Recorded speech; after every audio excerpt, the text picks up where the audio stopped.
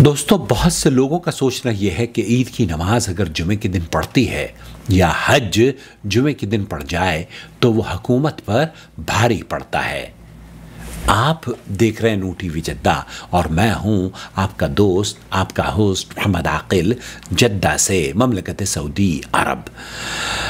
ईद की नमाज़ और जुमे की नमाज़, दोनों अगर एक दिन पढ़ने को मौका मिल जाए तो ये नूर अला नूर है। अल्लाह के रसूल सल्लल्लाहु अलैहि वसल्लम की अहादीस इस सिलसिले में मौजूद हैं। आप सलाम ने जुमे के दिन जब ईद आ जाए तो ये भी फरमाया कि आज दो ईदें जमा हो गई हैं। तुम लोगों को, तुम लोगों के आज के दिन में दो ईदें इकट्ठी हो गई हैं। तो जो चाहे ईद की नमाज़ के ज़रिए जुमे को छोड़े, लेकिन हम दोनों नमाज़ पढ़ेंगे।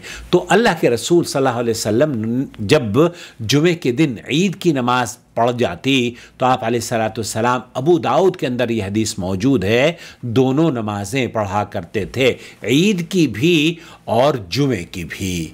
लेकिन सऊदी अरब की फतवा कमेटी ये कहती है कि आप जुमे की नमाज़ पढ़ना, जुमे की नमाज़ कायम करना, ये अफजल है। लेकिन अगर अल्लाह के रसूल सल्लल्लाहु अलैहि वसल्लम ने, क्योंकि एक हदीस में फरमाया कि जो जुमे की नमाज़ पढ़ना चाहे, वो पढ़ ले और जो छोड़ना चाहे, वो उसके लिए ईद की नमाज़ काफ़ी होगी और उसे जहर घर में पढ़नी होगी। तो गोया के, इससे पहले मेरी वीडियो आप देख चुके हैं तो यहाँ बात को सिर्फ़ इतना कहना मकसद है कि जुमे के दिन अगर ईद पड़ जाती है या हज अकबर जिसको कहते हैं, हज तो हज अकबर ही होता है, हज असगर कहते हैं उम्र को। तो बहरहाल, हज अकबर अगर और हमतुन्नास के, कि अगर जुमे के दिन हज पड़ जाए तो वह हुकूमत पर भारी होता है, इस तरह का कोई भी तस्वुर इस्लाम में नहीं है। बल्कि ये मुबारक है, क्योंकि दिन एक है जुमे का दिन है और ईद का दिन है, दोनों जब मिल जाते हैं तो फिर अल्लाह के रसूल वसल्लम ने फरमाया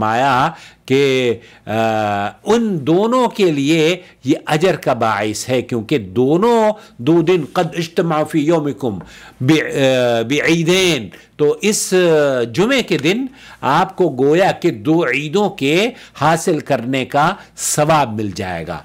तो मेरे भाई, ये गलत फहमी है, अगर किसी से आपने सुना है कि ईद के दिन हकूमत पर अगर जुमा पड़ जाता है तो बहुत सारे लोग तो इतना फितना और फसाद पैदा करते हैं कि जुमे के दिन अगर हुकूमत, जुमे के दिन अगर ईद हो रही है तो हुकूमत उसे टाल देती है। अऊजुबिल्ला हकूमत क्यों टालेगी?